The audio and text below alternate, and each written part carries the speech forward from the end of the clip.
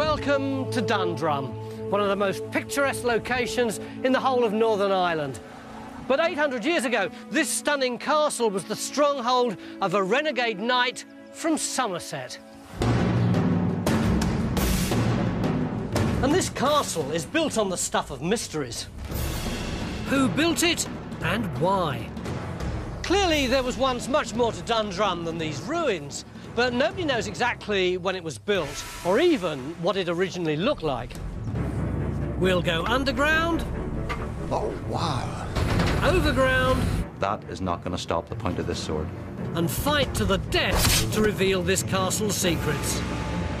Oh, look at that. Ooh, isn't that lovely? And we're poised and ready for the challenge.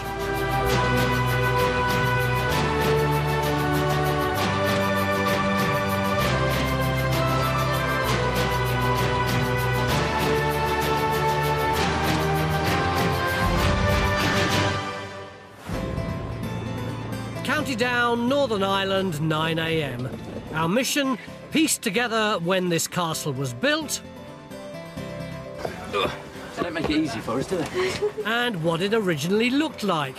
And barring the odd technical hitch, most of the team are raring to go. Well, this is all very impressive, but I fancy a cup of Earl Grey.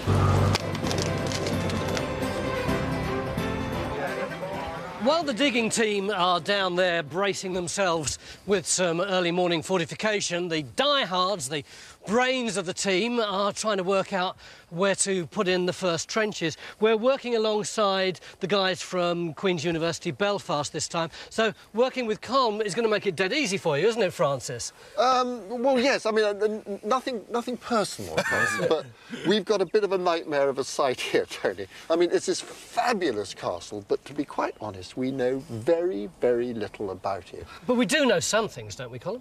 We do know some things. Um, back in the 1950s, when the, the site became a state care monument, there was some excavation up here in the inner ward, and that did reveal evidence of earlier structures.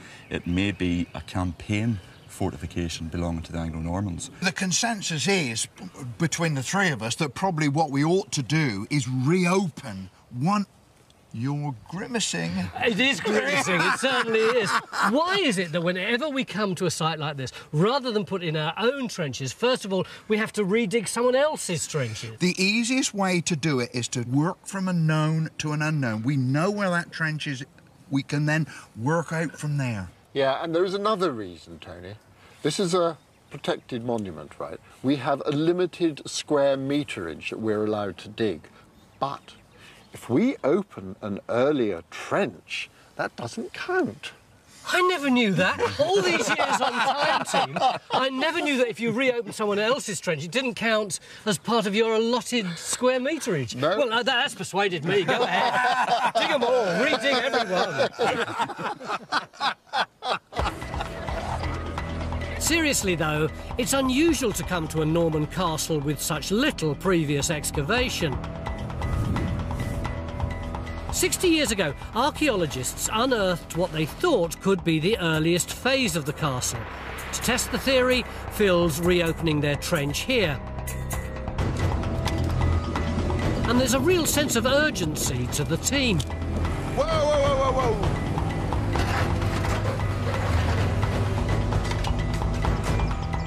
Most 12th century Norman castles started life not as stone structures, but as a temporary earthen defence.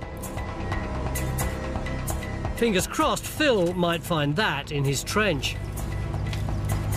Now we're all satisfied that we got it defined. Yeah. We want to empty it out.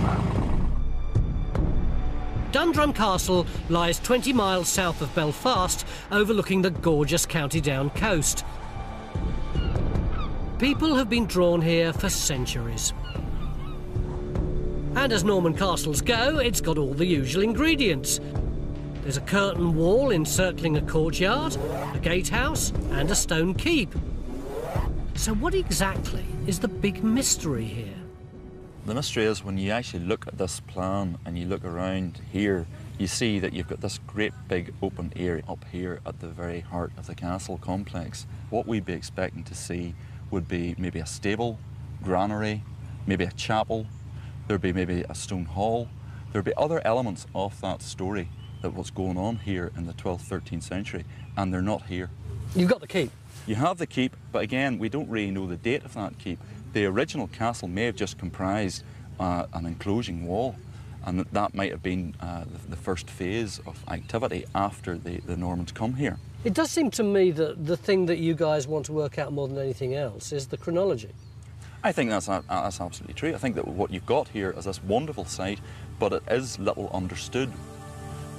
Which leaves us with two mysteries to solve. What was once here, and what date are the structures you can still see? There's no stopping Colm as he turns his expert eyes to the standing remains in search of answers.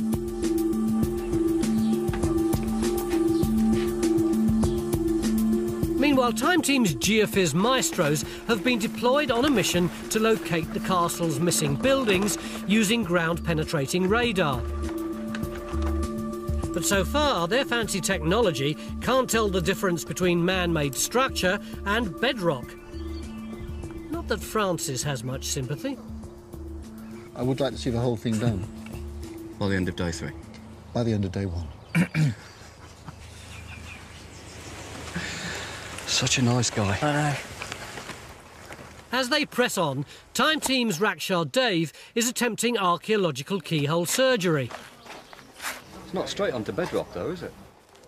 The castle sits on a natural rocky outcrop. She's testing whether a blob on the geophys is bedrock or structure. I think even if it is bedrock, you've got to go down at least half a metre to confirm it. Good job it's a tiny trench because John isn't really playing the chivalrous knight. I would offer to help, but you know, we've got these strict rules now. He's not quite on a par with the legendary Norman knight, who, according to history books, built Dundrum Castle. John de Courcy was born in Somerset. His grandfather had been part of William the Conqueror's entourage. Finbar, what sort of man was John de Courcy? How would you describe him?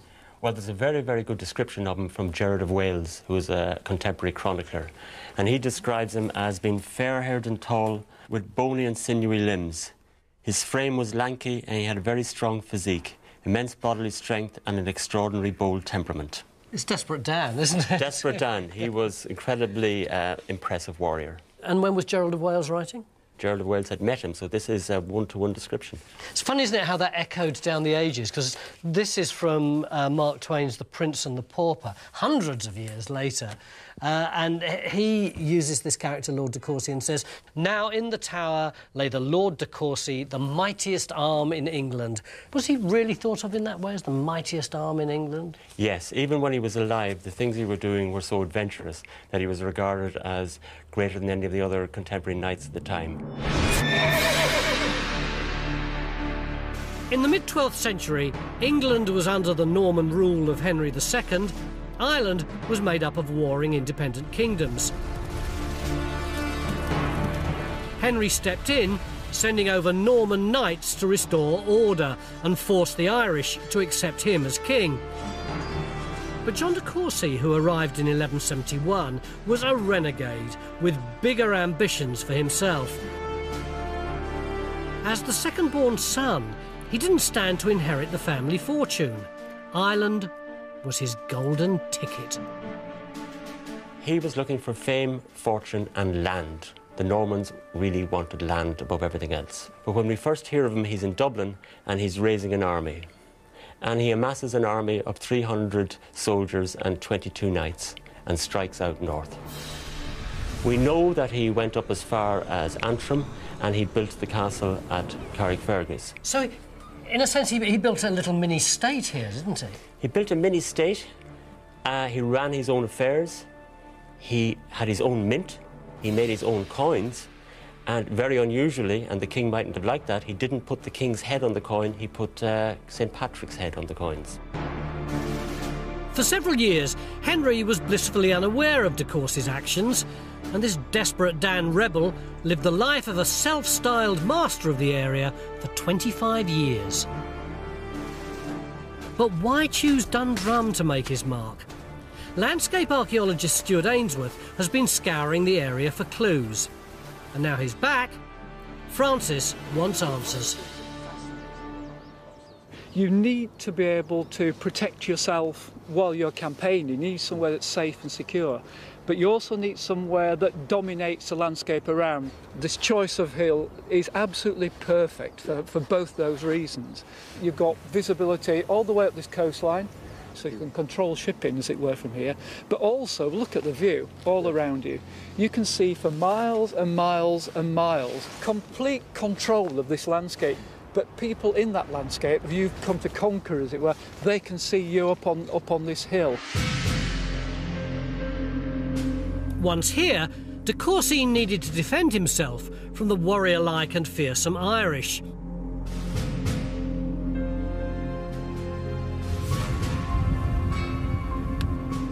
So Stuart's next task is to map the castle's defences, while the archaeologists try and work out what de Courcy originally built here and when. Uh, can, can I come in Yeah, down the please loose do. here? Please Phil's do. called in Time Team's pottery guru Paul Blinkhorn to date his first find. What's a nice big piece. Oh, look at that. It's all decorated. Ooh! Isn't that lovely? Oh, I'm beginning to feel justified in letting you Nice pull it out lines now. and glaze. It's definitely medieval. Let's have a little look. Oh, that's nice. Yeah, that's that's Cheshire. That's sort of 13th, 14th century. It's a place called Ashton, just to the north of Chester. They're It's- making this stuff. Is that the sort of stuff you'd expect to find in Northern Ireland? You find a lot of English pottery, on, particularly on the east coast. I mean, it's it's the supply lines. And what's that, a jug? Yeah, it's probably coming up towards the neck of a jug. You've got sort of just at the top of the shoulder, you've got probably have the high flaring neck coming up here, then you have a nice rounded shoulder and a long body going down to the base down there somewhere. And, and then big handles on it. handles, yeah, big handles, mate. This beer jug isn't exactly fine bone china, and it dates to about 1250, half a century after de Courcy had left. So the hunt's still on for finds we can tie to de Courcy and structures that shed light on what he built. Hopefully, John's hot off the press geophys results for the upper courtyard might give us the breakthrough we need. We got the news you're after? That's quite an entrance, John. Better be worth it, you know. Of course, it's worth it. Look, Jimmy's radar plots. So this is the curtain wall, and well, you can see there's hints of things coming out Yeah. at that point. I think if you want something along this edge, we should investigate those. Colm, how does that time with what you've been thinking? And the question I would want to, to, to try and resolve is are we actually looking at not something that's the medieval period, but maybe the remains of a cashel? What's a cashel? Castle would be a defended stone enclosure dating to the 7th to 10th century. Wow, that's really early, isn't it? This is totally unexpected. Colm thinks the strange curve on the geophys hasn't got anything to do with the Norman castle. He's got a hunch it could be something hundreds of years earlier. So, would you want to put a trench in here? Oh, most definitely, Tony, yes. All right, shall I get my little vehicle out of the way? Yeah. Like a team possessed, we're wasting no time putting in our third trench. Even John's mucking in. Is it Irish? Is it Norman? High end archaeology or bargain basement bedrock? We'll find out tomorrow. Beginning of day two here at Dundrum in Northern Ireland, and a pretty grey and overcast day it is. But the weather's not dampening anyone's spirits in our quest to find the original Norman castle here. In her trench, though, Time Team's Tracy Smith is on the hunt for something altogether different. In this area, an intriguing curve on the geophys got the archaeologists hoping we were onto something Irish, predating the Normans. Oh, Tracy, that's fantastic, Yeah, I think you can definitely say that that structure. isn't it? That's fantastic. I mean, it's going down. Yes. No sign of any mortar. Nope. Nope. Dry it's- stone by the look of it. So it's dry stone, and, it, and it, it, I it seems to have a gentle curve on it. Yeah. Or am I inventing that? Yeah, it should come, well, about where your feet are, actually. I think that's fantastic. Oh, it's quite made my day. So Dry early? Dry stone wall before the first cup of tea. Dig on. Maybe Francis should swap the tea for something stronger, because this is a stunning find. The Normans didn't build dry stone walls, it's Irish and could be the remains of a cashel, a circular walled enclosure. To be sure, Tracy needs to expose more and date it. Whatever this was may well have been flattened when John de Courcy took over this area in the 12th century. But while the Irish outnumbered his attacking forces, they were fighting a losing battle. To find out why, Time Team's Matt Williams has volunteered to step into 12th century Irish shoes. And given a choice between a woolen suit, stylish though it is, and Norman chainmail, I know which I'd go for. Matt, how do you feel? now you're fully kitted out as an Irish fighter. Well, fully kitted out, I feel a bit underdressed next to Mark. I mean, straight away, the thing that I notice immediately is all, he's, he's got all, all the metal that he's got on him. He's got chainmail, his shield is three times the size of mine, he's got a sword and a dagger. He's a full-on battleship, and I'm just a little sailing boat in the sea. Basically, you've got farming implements, a throwing axe, and a shield the size of a pizza. Okay, so here we are. I'm going to give you a quick 12th century lesson on, well, you're going to die most of the time. So I'd come running at Okay. you. Good luck. Okay, that's a mistake because I'm going to step in, block your shield, and then take your head off. How about if I went down like that? Drop the shield, and now look, my point is now under your guard. What if I go down like that? That's it. I'm going to block there, Yeah. or if we're feeling being very nasty, step back and just take the arm. Do a high one coming down this way. Like Okay, that. I'm going to block, smack you in the face with my shield. Yeah. A kick, knock that out of the way, and then slice the face. So are you feeling uh, slightly less confident now? Right, I'm trying to think of another way. What if I just go at you with my shield like that? Well, mine's push it- bigger than yours. I'm going to come over the top with the pommel. Yeah. I'm going to put all my weight and hopefully get you going backwards. Hmm. Once you stumble and fall, the point of my sword is going to follow you down to the ground, and I'm going to impale you as soon as you hit the ground. There are certain things you could do, but definitely the weight is against you. I certainly wouldn't want to be in your shoes. Even against spirited defence, the mightiest arm in England had the military edge, man against man. But did his building match his fighting? We're starting to doubt that what you see today was what you saw in de Courcy's time. Over there, there's a stretch of wall which doesn't make sense because it's double skin. I know what you mean. You've got this um, this wall here, haven't you? And then suddenly it gets uh, incredibly thick for a few metres and then goes back to its original depth there. What's that all about, Colm? Well, it's possible what you're looking at is the remains of maybe the, the hall associated with de Courcy's occupation of the castle. I see. So, so this thick bit would be the wall adjacent to the outer Yeah. wall, and then the whole thing would stick out like Yeah, this. and here. Any other clues? Well, yes, Tony. There's a particularly strange bit, but it's hidden around the back of the tower. I know what you mean. Come, come in this direction. Uh, It's so funny, isn't it? Because we virtually ignored this part of the castle completely on day one, and suddenly it becomes not only really important but highly contentious. This little thing here, which looks to me rather like the inset for a Norman television set. what actually is it, Francis? That, Tony, is a medieval toilet. It's known as a garderobe, okay? And people would have sat up at that level and done their business outside the house. This would be part of a building, and there is no building here now, but what we have is this. So this is later than the latrine, and there was a building here which was demolished. That's what archaeology is all about. It is fascinating, isn't it? Normans on their loo, reading their Norman newspapers. Fantastic. Colm's detective work has paid off. He's worked out that de Courcy built a stone hall, complete with latrine, where the round tower now stands. He also put up a hall here, now disappeared. And that's not all. Based on the architecture of the round keep and gatehouse, Colm's convinced they're both 13th century.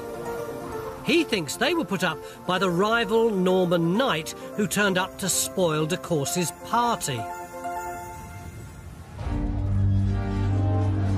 Hugh de Lacy was sent by King John to depose de Courcy, whose control of the region amounted to treason.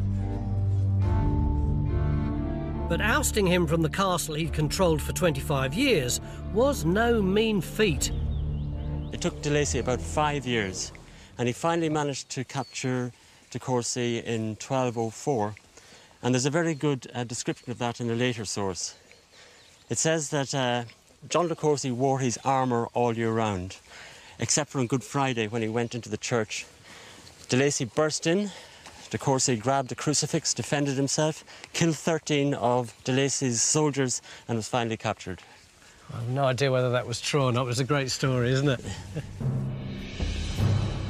De Courcy was toppled, and De Lacy assumed control of Dundrum well into the 13th century.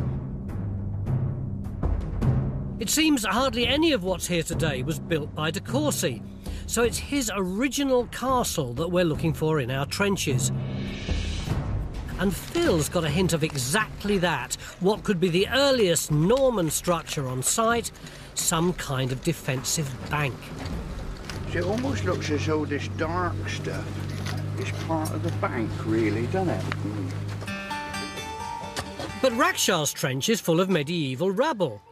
So while we know it wasn't on bedrock, it's not over an intact building either. Undeterred, Colm and Francis are embarking on their own search for De Courcy's castle. You Go first. Thanks, Colm. Under the keep, which replaced his earlier hall, is a rock carved cistern, 23 feet deep, dug into the natural water table. Oh, wow. That is amazing. It's a bit good, isn't it, Colm? It certainly is. I mean, it's Anglo Norman engineering at its finest, doesn't it? I would imagine it's the reason why the keep is constructed at this spot. They knew there was a source of water here, and Yeah. therefore they exploited that because that's one of the things that they'd really want for the castle would be a source of water in case there was a siege. Yeah.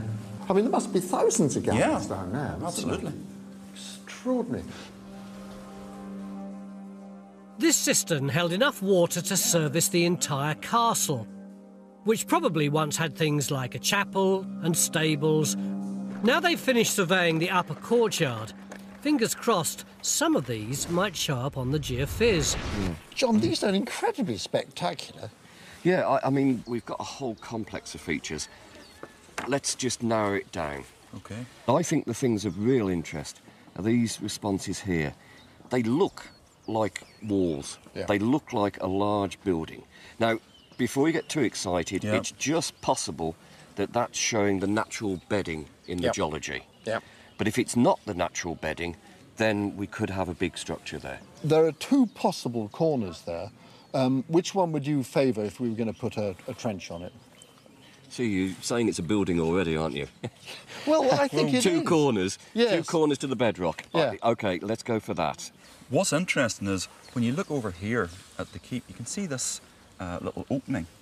And it's thought that that might be a means of bringing water from the cistern inside the keep, bringing it out to here. And if you had your stables here, well, it would be a means of bringing the water to the, the the horses.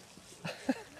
So, so we've gone from possible bedrock to this being reconstructed as stables with water supply coming in. Sounds plausible. Fantastic. Prove it in the ground. we will, John. You wait.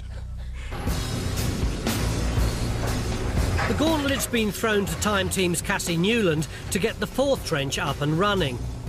What we're still lacking in our trenches are any actual buildings and any tight dates. So no pressure.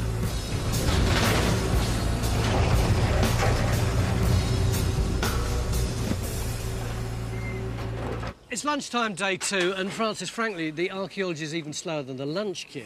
No, it isn't, Tony. The archaeology is fabulous. We've opened new trenches. Oh, we've opened new trenches, but what's the point of new trenches if you don't find anything? We found. What about that dry stone wall? You could eat your lunch off it. It's gorgeous. Can you guarantee to me that this afternoon we'll find out more about the story of the castle? Yes, Tony. Absolutely. We'll find out a huge amount about it. Go on. All the fisheries. Uh, there is a burning question still, though. What's that, Tony? Chips on mash. Thanks a lot. It's chips every time. Uh, chips, please. Afternoon day two, and just before lunch, we put in this trench here because we thought that there might be an ancient castle building here. Cassie, It does seem we've got a load of rubble, doesn't it? Ah, well, I think it's probably collapsed, which is better than rubble. Before lunch, we were positing that this could be a stables. Yeah. Does that sort of read well for you? Well, we've not had a lot of stably evidence out. Yeah. We do have really nice thing. Go on. Da, da, da, da, da, da, da. Shiny thing. Suddenly we burst into song. Time to Now, musical. Does this justify the singing? Oh yeah, absolutely. It's what we call a roof finial. It's a piece of decorative roof furniture. Yeah. It's the sort of thing you'd find on the edge of the ridge over at the at the eave on a really nice posh building. You just said really posh building, Yeah, so yeah. does that undermine this notion that it was a stable Well, it depends how posh your stables are. Yeah, that's true, I suppose. I mean, these things sort of turn up on the roofs of priories and big grand houses and that sort of thing, and castles, I suppose, as well. Uh, this one was made in Bristol. It's posh. It's so fascinating when he says that kind of thing. How do you know it was made in Bristol? I can't see a, a Bristol City FC mark on it It- anywhere. as ever, it's the fabric, dark grey with buff surfaces, lead glaze, classic ham green, just outside Bristol. What's the date? Well, late 12th to mid 13th, something like that. So right on the money for the construction of the castle. Excellent, great, mm. great. Well, it looks as though we may well be on the money in this trench then. Mm. Well done, great, keep digging. The date of this rare roof finial means it's the first find we can tie to de Courcy's original castle.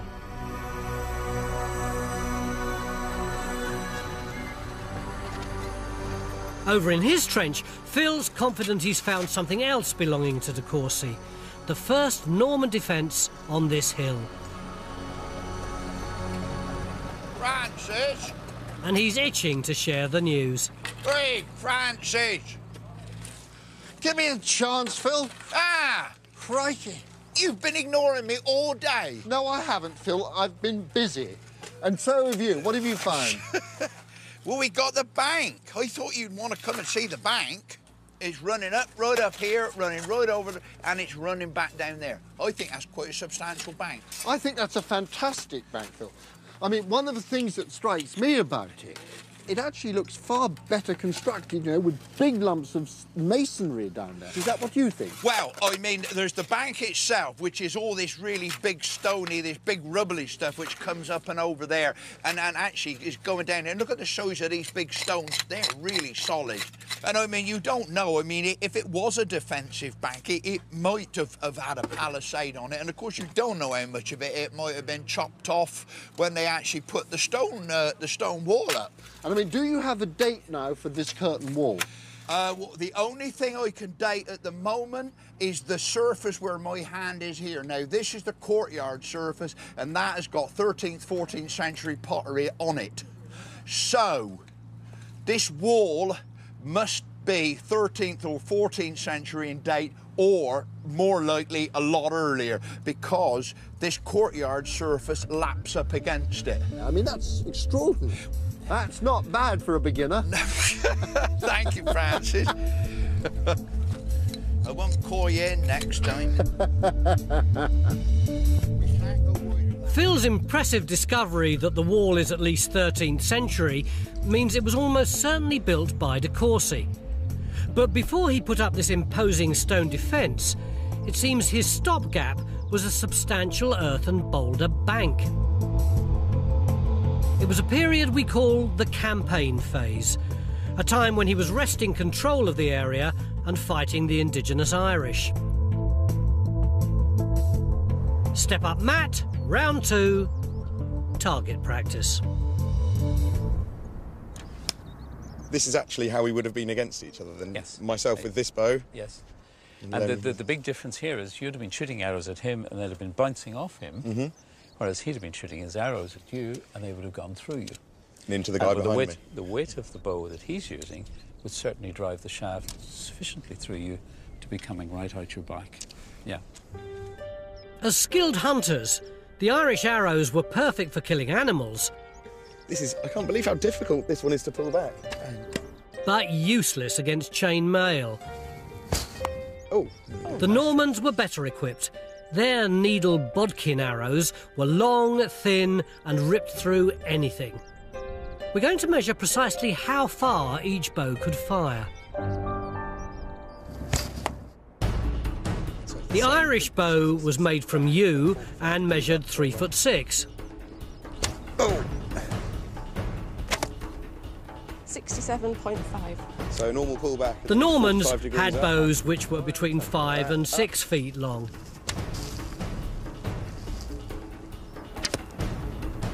Eighty-seven point three metres. The superior range of Norman bows successfully held the Irish at bay, backed up by imposing defences.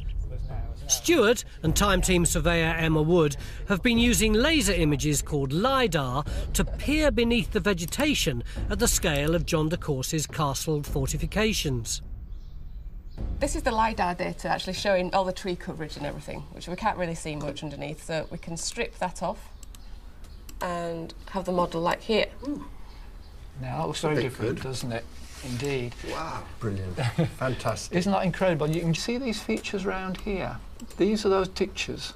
Great sort of defence on, They're on huge, the top aren't of they? the They're hill. really, really deep. Okay, so I mean, what are you proposing to do now? I think, I mean, what we're going to need to do is take some measurements to show just precisely what's going on in terms of where ditch bottoms might be, ditch tops and so on. But um, no, I think that's fantastic. Great stuff. A massive series of ditches encircle the castle's outer walls. Stewart now needs to measure them and work out how they were built.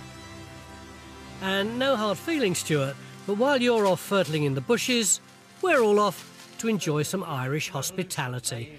They waxed these heads and then brought Let's face it, it doesn't take much persuasion to get them to a pub. Do you know the way to the pub? No, we're going to the pub. Right, thank the Lord for that. What kind of day has it been for you, Colm? It's been a great day. The weather stayed good, and we opened over opened up that trench over the stone feature. That's the mysterious thing that could be the earliest building on the site. Absolutely, that could be the origin point for the whole site. And you've got the posh house. Well, I've got a posh roof. We're hoping for posh house, but there's just that last little bit to machine away in the corner. You've had a good time, haven't you? Oh, I mean, we've shifted a lot of muck today, but it's been worth it. It's been worth it. But I'm sitting here now, and I'm actually in a bit of a shock because apparently these, when the Anglo-Normans was about, the English were noted as being heavy drinkers, Yes. and the Irish were noted for their sobriety. And your point is?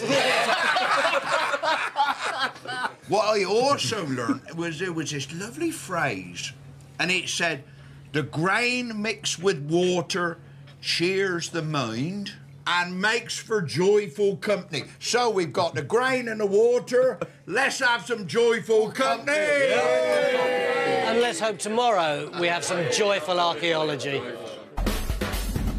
It's our final day at Dundrum Castle in Northern Ireland, and the entire team are blowing away last night's cobwebs with some heavy duty digging.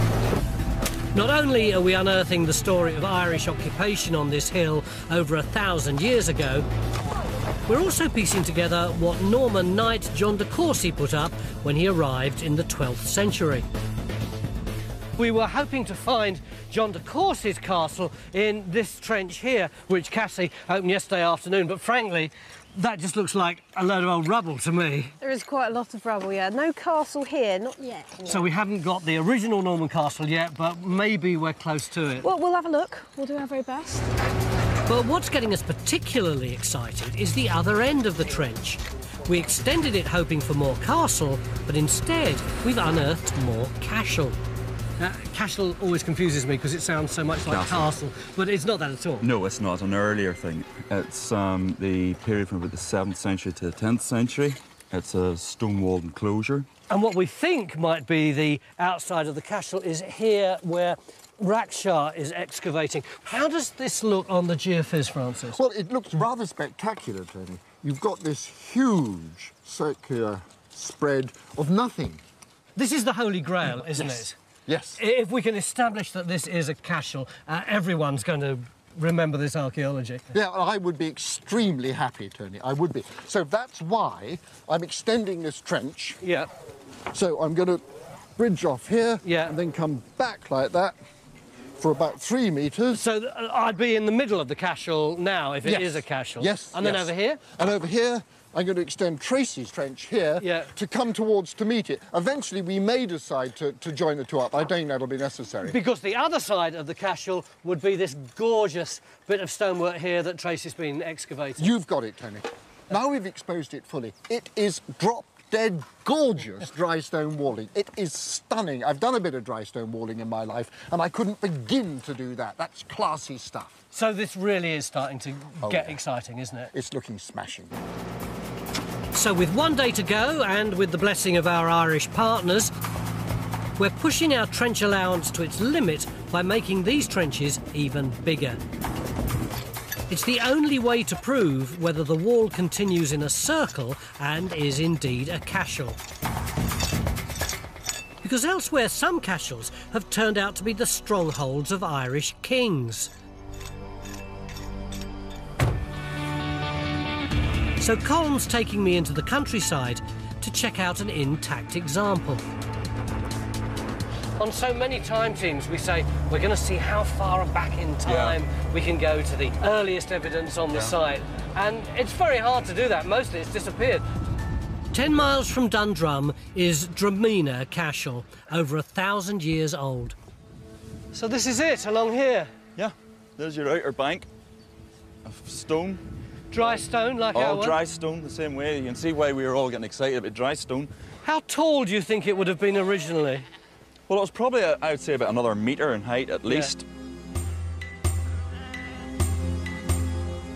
The one thing that strikes me is how big it is. It is very big. It's basically a defended farmstead because you've got the threat of people steal the cattle, and also you have to remember that in Ireland this time you got wolves. Cool, look at this here. This is intriguing. Colm, what's this? It's a defensive feature. It's like an artificial cave. Yeah. And what would happen if there was a raid? Uh, the people who live down here, they would go under the ground, and there's a this cavern for them to, to take protection in. Many Irish chiefs and their families would have lived in these enclosures when the Normans arrived in the 12th century. And they had two choices fight or flee. Unfortunately, we're not giving Matt the option of fleeing as he takes on the fight of his life. Round three man versus horse. This is the Norman saddle, and this is really the key to how they managed to beat the Irish. It's very, very solid. It's got a very high back, and they have stirrups. And you can only couch a lance, which means holding it under your arm and bracing against the back of your saddle. Obviously, if you have a saddle and stirrups to push against. You can imagine what it would be feeling like going up against that. And all the heavily armoured might of the heavy horse, with his long lance, longer than your little javelins, and of course his very sharp sword. And you could expect to have this sort of treatment. I'm so glad that you're doing this and not me. Uh, What exactly is it that you've got to perform? Well, I've got to face up to the horse and rider with the spear and all the armaments that he's got. And once again, I appear to be at a severe disadvantage. The main one being I'm only on foot and I'm probably going to chuck all my things at it, all my spears at him, and they're just going to bounce off. Is he gutsy? Does he know what to do? His courage will bear him through. Your courage? Is that what we've got to rely on? That's all I'm going to have left, I think. yeah. Right, take your spears then.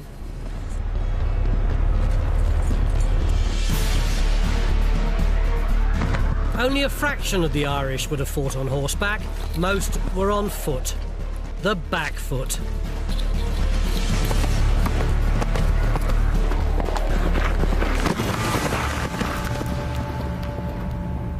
Well, that's pretty conclusive. The Normans' superior weapons and cavalry left countless Irish dead. Others took refuge in nearby towns, and those who survived were subject to de Courcy's control. Rubbing salt in their wounds, he then built his castle on top of their stronghold. Oh, hi, Francis. Colm. Good to have you back. You've been working? I have. What we thought this morning was a fortified cashel is now looking rather more intriguing. I wonder, are we looking at actually a building? That's I my think gut it's- I think it's, we're, we're looking actually at some Yeah. sort of building up here. Is it a hall? Maybe Really? looking, well, possibly you could be looking Yeah. at a hall. It's possible that what you had was a, a big structure which was roofed over the entire thing. I mean, this has to be important, doesn't it? The very, Yeah. very, very top It's of the hill. Very important. You're dealing with a high status Yeah. settlement up here on the hilltop. This is a real revelation. The curved dry stone is too well built to be an enclosure. It seems to be the platform for a substantial round building. But little is known about Ireland before the Normans. We do know the country was split into 150 kingdoms, or tuas. Tribal leaders ruled their people from fortified strongholds and were celebrated for their bravery and heroism. And at Dundrum, there's one local legend that survives. The first mention of Dundrum is in about 800 in a story dealing with the building of a big feasting hall. And it refers to a feast that was organised by a character called Bricriu. And it was attended by all the heroes of Ulster, and they spent a long time feasting, telling about their exploits. According to Irish mythology, Bricriu was a lord, poet, and troublemaker who once lived here. Incredibly, it looks like we might be onto his renowned feasting hall. We've got some feasting debris in the shape of butchered animal bone. And just on the other side of the site, Phil's got something we can date. He's unearthed an early ground surface where someone dropped something pretty special. It's a gorgeous bone pin. You can see it, it's been really, really nicely shaped. And you can see this lovely little hole in the end. There's a strong view that it could actually be early Christian. In other words, that it is much, much earlier than the stone keep and actually relate to the first people who used this site. This beautiful clothing pin is definitely pre-Norman and proof the Irish were living here as far back as the 9th or 10th century. As for our Norman story, Cass's Trench has drawn a big fat blank. Demolition has obliterated any clues as to what this building once was. Luckily, Stewart has found some spectacular evidence of the Normans' engineering skills outside the castle walls. Come and have a look up, up here. First of all, we, this bank was standing on top of. You can see the slope down there. That's very steep, It is. And this slope down here is the first bank up. We're standing on top of it. You've got to imagine there'd be a palisade on top of here as well. It wouldn't be like this. Then you come down into what would be the ditch behind it, which is partially filled in. You can see this, this dip we're in now. And then you see we're climbing up again, up here. Is this still De do This think? is still De Courcy. And then there's another ditch. Yeah. And you look at this one. It's actually, don't fall down, because it is actually vertical there. Blimey, it is, isn't it? We're in Yeah, a rock yeah. cut ditch now. Wow, Which yeah, is different to that one. Yeah. And if you come to the other side of it, up to this face here. Up again. And you see it's another rock cut edge. Look at this here. Wow, yeah. These defences were dug deep into solid rock. Backbreaking work and a sign the Normans were here to stay. You see where they cut it away later But at the front of the castle, there's no sign of any defences. And Stewart's worked out why. All we've got left of that inner ditch, the rock cut ditch that we saw, you can see the rock cut face in there? Oh, that's all yeah, that's left, yeah. and you can trace it all the way around. Now, what's happened at a later stage, probably in the 17th century, when this big house below us is having its gardens built, they're getting rid of all this big bank and ditch and everything here that's in, in the way. To create lovely gardens. Absolutely. And that's not just a bright idea. We can actually demonstrate it through, through data by, which we've taken from the LiDAR. Critical one. Through accurate measurements across the site, Stewart's proved that the ground's been completely removed on this side. And that's not all. He's still got his trump card to play. Go on, shove your hand up. See what happens. Oh, there's nothing there at all. It's a complete void. Is it a chimney? No, I think it's the, the bottom of a garderobe chute, you know, to- a toilet drain, effectively. Thank you for making me put my hand up it. But what's interesting about that is there's no evidence of building. Going with this, if you look on the other side of the wall, it's blank. I'm wondering if what we've got right at the end is a tower. Stewart's discovery of a second toilet chute on the other side of the castle means there must have been a tower to contain it, probably the original gate tower. We've finally got all the elements of this impressive castle. It started with a circuit of substantial banks and ditches around this hill. On top was a huge circular bank. Next, the curtain wall and gate tower. And within the courtyard, two halls and stables. But it's the earlier Irish part of the story that's really created a buzz and attracted the attention of some of Ireland's top archaeological brass. What we found is the very summit of this hill. And surrounding it in a great circle, like a crown, were the foundations of a great hall. And this would have been the dwelling place of the tribal chiefdom. This was the reason why this later castle was built. This had always been an important place. Isn't that interesting? Because the very first reference to Dundrum is of a big hall where people came for feasting. Yeah, it's, it's a real gem of a discovery on a beautiful site. Archaeology has given us a glimpse of a time we know so little about, proving 1,200 years ago this hilltop was an Irish seat of power. Remind me again, what's the Irish for cheers? Sláinte. Sláinte. Right, ladies and gentlemen, I think we've only got one word to say, which is... Sláinte! For more wonders of history, you could do a lot worse than watching Richard III, the King in the Car Park. It was on a few weeks back, but you can catch it whenever you want on 4OD. Next this afternoon, a banker spanking will sort our Sunday right out, won't it? Deal or no deal. Coming up.